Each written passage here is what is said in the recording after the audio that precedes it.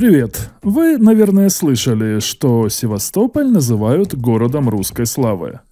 Этот бородатый миф настолько въелся в умы россиян, что и каленым железом его оттуда не вытравить. Да что там россияне, если даже многие граждане бывших советских республик продолжают верить в эту сказку. Особенно те, кто ходил в школу еще при СССР.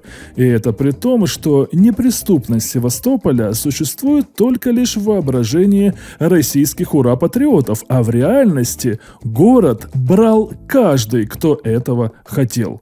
Героическая оборона Севастополя и слава русского оружия – это настолько пустые слова, что удивительно святая вера огромного количества россиян в откровенную историческую ложь. А ведь даже в школьных учебниках прямо написано, кто побеждал в канонических битвах за Севастополь. Ни разу не русские. Давайте уже поставим точку в этом вопросе, раз и навсегда развенчав миф про город русской славы Севастополь. Но вначале попрошу вас подписаться на наш канал и нажать на колокольчик, чтобы не пропускать регулярные разоблачения российского исторического вранья. Также будем признательны вашей поддержке канала на платформе Patreon. Это помогает развитию проекта.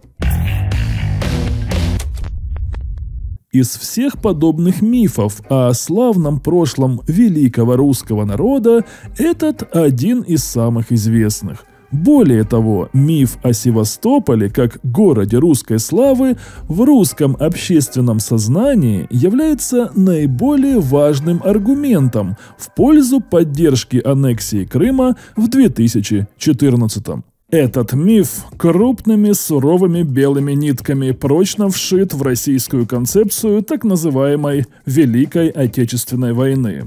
Оборона Севастополя в представлении большинства россиян неотделима от битв за Москву, Ленинград, Сталинград и Курск. Парадокс истории Севастополя в том, что его так называемая воинская слава, воспылавшая еще в середине 19 века, в дни так называемой героической первой обороны города, багровым цветом осветила ужасающий позор замшелой России, начисто проигравшей ту Крымскую войну и утратившей Севастополь. Но Любое поражение всегда вызывает к жизни механизмы компенсации, которые позволяют побежденным легче справиться с полученной психотравмой. Потеря Севастополя в результате англо-французского штурма в сентябре 1855 года не стала исключением. В конечном итоге лучшей терапией стала героизация процесса обороны, вне зависимости от итогового результата. Первооткрывателем этого метода можно считать декабриста и путешественника Михаила Бестужева. Его можно назвать полноправным крестным отцом зарождения мифа о русской славе Севастополя. 1 января 1856 года Бестужев написал такие строки. Севастополь пал, но с такой славой, что каждый русский, а в особенности моряк, должен гордиться падением, которое стоит блестящих побед. После этого общим трендом стало связывать в одном предложении слова «Севастополь», «Слава», «Русский» и «Моряк». Любопытно, что в ленинское время миф был позабыт, а памятник Нахимову в Севастополе разрушен, но к началу Зимней войны с Финляндией вновь оказался востребован. При Сталине вообще было создано немало исторических мифов. Например, миф об Александре Невском, являющемся по сути предателем и палачом Руси, ставшим с легкой руки сталинских киноделов защитником земли русской. Ролик о Невском смотрите на нашем канале, ссылка в описании. Во время Советско-финской войны память о героизме защитников Севастополя использовалась и для поднятия боевого духа солдат, и для объяснения советским гражданам якобы традиционной враждебной позиции Англии и Франции – Осада Севастополя вермахтом в 1941-1942 годах и послевоенный вал мемуаров и художественных произведений сделали возрождение мифа о городе делом решенным. Уже в 1946 году в экономико-географическом очерке СССР писалось, что Севастополь – база Черноморского флота, город русской славы. Цитата из труда известного советского историка Тарли. Оборона Севастополя является изумительной летописью о патриотизме, самоотверженности военных качеств и доблести русского народа. Только русский моряк и русский солдат могли создать такую поразительную историческую драму, написанную русской кровью. В новейшей российской публицистике этот эпитет также в ходу – писанина путиниста Старикова. Звание города русской славы просто так не дается. Севастополь получил его не за красивое имя, которое подарила ему Екатерина Великая, и не за прекрасный вид на морские волны. Это звание окроплено кровью русских солдат и моряков, и не на одной войне. Было бы даже странно, если бы это словосочетание «город русской славы» не использовалось и в наши дни. В Крымской речи 2014 года бункерный фюрер Путин сказал «Крым – это Севастополь, город-легенда, город великой судьбы, город-крепость и родина русского Черноморского военного флота. Крым – это Балаклава и Керчь, Малахов, Курган и Сапун-гора. Каждое из этих мест свято для нас. Это символы русской воинской славы и невиданной доблести. После этого статус Севастополя как города русской славы стали использовать в качестве одного из важнейших оправданий аннексии Крыма. Но в наиболее полном виде миф о Севастополе как городе русской славы раскрыт, как и следовало ожидать, в его официальном гимне. Песня «Легендарный Севастополь» была специально написана к столетию начала первой обороны города и десятилетию изгнания из него нацистских оккупантов – Впервые она была публично исполнена 25 июля 1954 года ансамблем песни и пляски Черноморского флота, а ровно через 40 лет, 29 июля 1994 утверждена в статусе городского гимна. Вся песня представляет собой краткое описание истории города, и практически в каждом куплете есть какая-нибудь изюминка. Сначала деды воевали, знакомо, не правда ли? О временах первого покорения Крыма в 1783 году.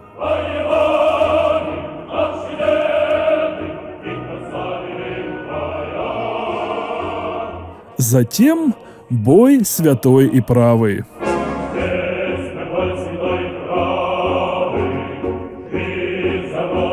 Прямая цитата из революционной песни 1905 года «Варшавянка», отсылка к установлению советской власти в Крыму. Следующий куплет –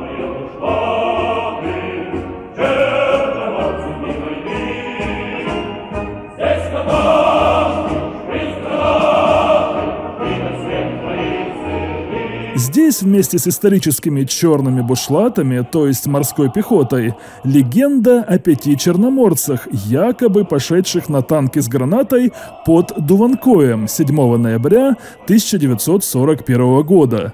Этот миф, кстати, сконструирован по лекалам мифа о 28 панфиловцах, который мы уже разбирали на нашем канале. Я оставлю ссылку в описании. Ну и как же в конце без врагов из-за океана, актуальных для севастопольцев и в 1954 году, и сейчас –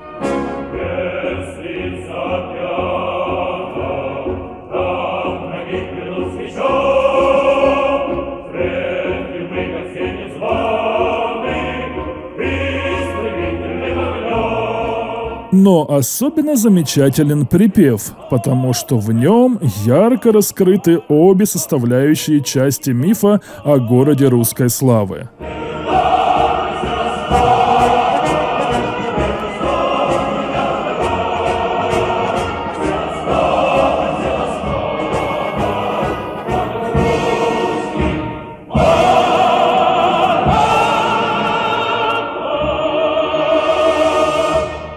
Согласно припеву, Севастополь, во-первых, неприступен для врагов, а во-вторых, гордость русских моряков. И вот далее мы попытаемся понять, так ли уж был неприступен этот город, и одним ли лишь русским принадлежит вот эта вот знаменитая гордость.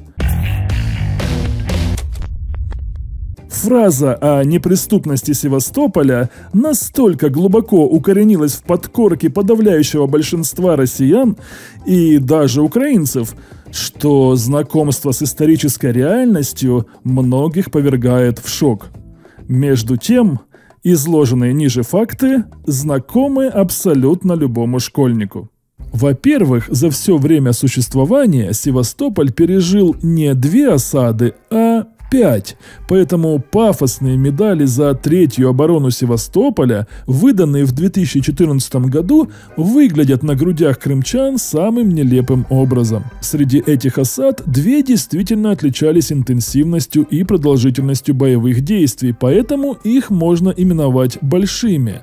Сведения о них легко найти в каждом учебнике истории. Это осада Севастополя в 1854-1855 году во время Крымской войны и осада в 1941-1942 во время Второй мировой.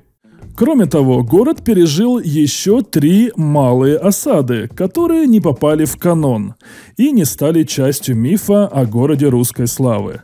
Что это были за осады? Осада города немецкими войсками с 24 по 28 апреля 1918 года. Защищающаяся сторона – красногвардейцы и матросы-черноморцы. Осада города рабоче-крестьянской Красной Армии с 15 по 28 апреля 1919 года. Защищающаяся сторона – французы. Осада города советской армии с 16 апреля по 9-12 мая 1944 года. Защищающаяся сторона – вермахт. Как вы наверняка помните, в результате больших осад российская и советская армии уступили город врагу. В общем, во всех пяти битвах за Севастополь защищающаяся сторона не смогла его отстоять ни разу. Так что неприступность Севастополя существует только лишь в строках гимна и воображении ура-патриотов, а в реальности город брал каждый, кто этого хотел. Но, конечно же, по традиции, заложенной декабристом Михаилом Бестужевым, каждый русский, а в особенности моряк, должен гордиться падением, которое стоит блестящих побед. Ситуация со славой защитников Севастополя во Второй мировой выглядит несколько ровнее, но она подпорчена советским способом ведения войны. Если схватку за город в Крымской войне между Российской империей и Европейской коалицией в 1854-1855 годах можно считать условно-рыцарской, насколько это вообще допустимо для XIX века, то в 1941-1942 годах все было совсем по-другому. Ни у кого нет претензий к советским солдатам и матросам, исполнившим свой долг до конца. А вот к военному и политическому руководству претензий накопилось немало. Только типично коммунистическим, безжалостным отношением к бойцам, как к расходному материалу, можно объяснить то, что на протяжении всей битвы за Севастополь Черноморский флот больше отсиживался по Кавказским портам, нежели поддерживал защитников города корабельным огнем. И то, что в 1942 году эвакуировалось из обреченного Севастополя только высшее командование и партийные архивы – а рядовых защитников бросили на произвол судьбы. Кстати, в отличие от СССР в 1942, в 1944 вермахт эвакуировал всех своих солдат с побережья до последнего. В результате подлинная история Севастополя в 1941-1942 годах тщательно замалчивалась и фальсифицировалась. Взамен советских граждан кормили ударными дозами пропаганды и вымышленными подвигами. Ну и, наконец, если уже говорить языком мифа, уместно ли упоминать Севастополь в контексте двух больших оборон как город исключительно русской славы, как любят говорить об этом ура-патриоты? Любому разумному человеку ясно, что нет – поскольку Российская империя и Советский Союз были официально многоэтничными государствами, то и воинская слава Севастополя принадлежит представителям всех народов, принимавших участие в его защите. Опять же, это если здраво рассуждать в парадигме этого мифа. Поясню на примере украинцев. В середине 19 века их доля в составе населения империи превышала 17%, и это не считая черноморских казаков. Но поскольку в тогдашней России не призывались на службу целые народы Кавказа и Средней Азии, то совокупная доля восточных славян в армии, 86%, была больше их суммарной доли среди населения, 67%. Несложная пропорция показывает нам, что солдат украинцев было почти 22%, то есть чуть ли не четверть, и это только в пехоте.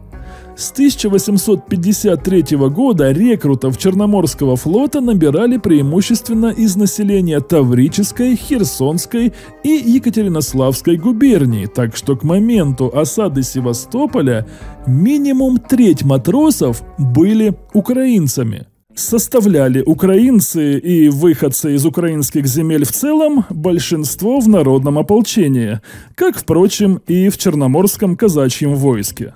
Половина всех регулярных кавалерийских полков российской армии комплектовалась на украинских землях.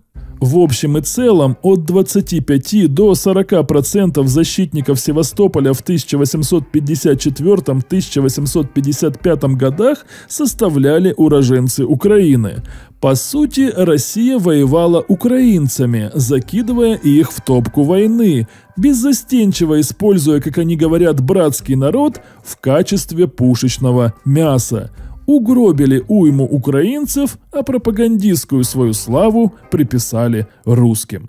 За каждым кровавым побоищем закрепляются свои символы. Для обороны 1854-1855 годов это два имени, олицетворяющие два полюса и двуединство характера севастопольской страды.